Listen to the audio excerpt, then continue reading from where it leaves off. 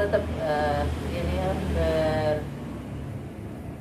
berbagi, tetap uh, eh, menjalankan kehidupan sehari-hari dengan penuh rasa syukur, menghilangkan kekhawatiran-kekhawatiran karena di mana pun asal kita bersama Allah, eh, kita tetap tenang.